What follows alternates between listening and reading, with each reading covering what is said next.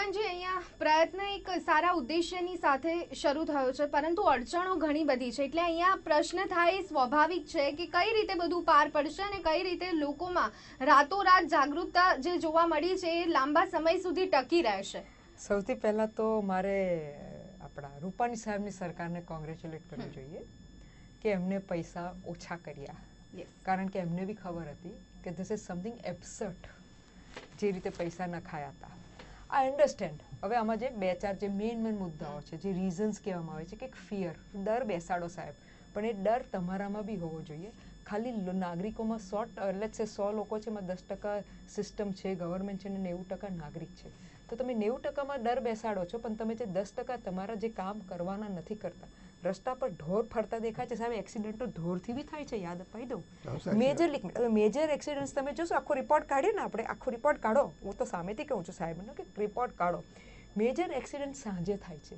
બીજા accident highway પર થાય છે. અને ત્રીજા એક્સિડન્ટ પીધેલો કરે છે. રાત રાતના એક્સિડન્ટો. બરોબર છે? બોમ્બેમાં બી જોશો તો ડર છે. બોમ્બેમાં બી બધું છે પણ મેજર એક્સિડન્ટ પીધેલાઓ રાતે કરે છે. બરોબર?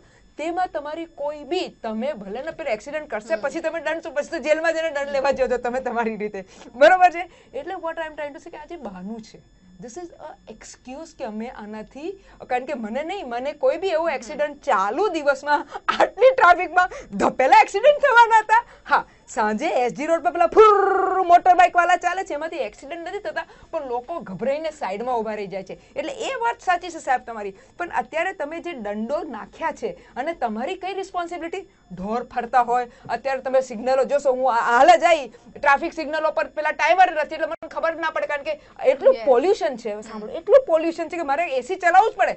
ઈચ્છા ન હોય તોય મારે એસી ચલાવવું પડે. અને પછી ટ્રાફિક સિગ્નલ પર બબ્બે મિનિટ મારી ગાડી રોકાય. કારણ કે મને બી ખબર નહીં હોય ક્યારે ચાલવાનું છે, પુલવાનું છે ને એસી ઘડી ઘડી બંને ચાલુ ના થાય. એટલે તમે હાલત જોજો કે આપણું કેટલું પેટ્રોલ વ્યાસ વેસ્ટ થાય છે. ગવર્મેન્ટની રિસ્પોન્સિબિલિટી છે કે તમે સરસ જાણે કે ફોરેનમાં હવે તમે ફોરેનને એક્ઝામ્પલ આપશો કે ફોરેનમાં સિગ્નલો અરે સાહેબ ફોરેનમાં કેટલી સિગ્નલો છે? મને કોને સાહેબ, હું જઉં છું ને? બધા જતા હશે. એમને ખબર છે કે ફોરેનમાં કેટલી સિગ્નલ છે.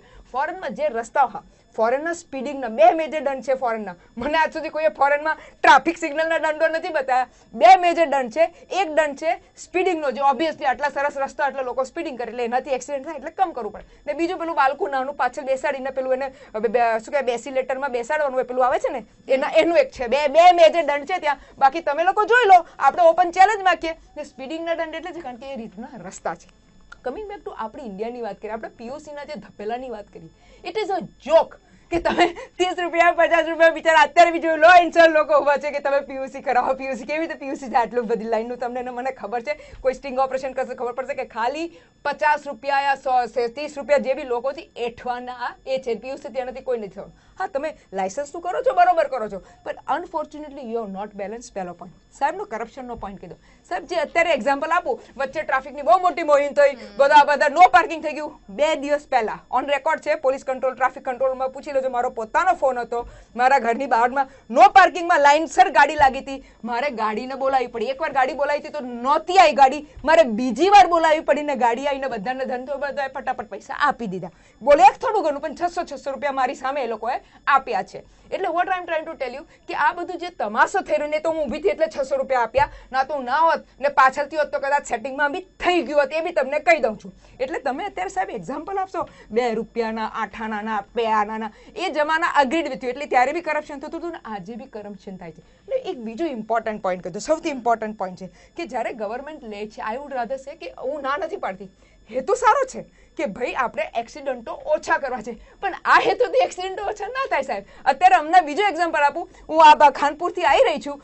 બીઆરટીએસ નો રસ્તા પૂરા ખાલી હતા પ્રેક્ટિકલી ખાલી હતા, ખાલી એક બે બીઆરટીએસ ફરતી હતી બાકી સખત ટ્રાફિક જામ સખત. એટલે બધાના પેટ્રોલ બી બગડે, પાછા તમારા પેલા રેડ લાઇટના બધા ધતીરો ચાલુ થાય. એટલે સાહેબ અલ્ટિમેટલી તમે પ્રજાને એવું ના સમજો. દબાવો, જેટલું દબાઈ શકે દબાવો, સાહેબ, એક દિવસ પ્રજા ત્રાહિમાન પુકારશે. કારણ કે પ્રજાની બી બુદ્ધિ છે. જેમ જીએસટી વખતે થયું હતું, બધાએ કહ્યું હતું કે સાહેબ, આમાં કશો બધા હેરાન થાય છે, થઈ રહ્યા છે. ડિમોનિટાઇઝેશન વખતે કહ્યું હતું, કોઈ કાળું નાણું આવવાનું નથી, કારણ કે જેને કરવાનું છે એ તો રફે દફે કરી દીધું છે. એટલે હતું પણ જેને રફે દફે કરી દીધું અને બાકી અમારા જેવા જે એસી ટકા જે નોર્મલ સિટીઝનો છે, એ હેરાન થાય છે. એટલે as a government it is your duty responsibility ફરજ છે તમારું કે તમે એસી ટકા નોર્મલ સિટીઝનોને હેરાન ના કરો નહીં પહેલાં જે ચોર છે એ લોકોને પકડો. પણ અહીં તો શું થઈ રહ્યું છે? બિચારા જે નોર્મલ છે એ લોકો પકડાઈ જાય છે ને ચોર મજા મજા કરે છે. જે તમારો હેતુ છે એ સોલ્વ થતો નથી ને પ્રજા હેરાન ને પરેશાન થઈ જાય છે. બીજા હજી પોઈન્ટ્સ કેવા છે? પણ હું નેક્સ્ટ ટાઈમ આપીશ. જી, બિલકુલ. રુઝાનજી, પરંતુ અહીંયા